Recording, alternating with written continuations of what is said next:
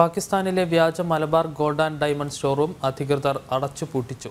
സ്ഥാപനത്തിന്റെ brand name അനധികൃതമായി ഉപയോഗിച്ച് പാകിസ്ഥാനിലെ ഇസ്ലാമാബാദിൽ ജ്വല്ലറി നടത്തിയ മുഹമ്മദ് ഫൈസാനെതിരെ മലബാർ ഗോൾഡ് ആൻഡ് ഡയമണ്ട്സ് നൽകിയ പരാതിയെ തുടർന്നാണ് നടപടി.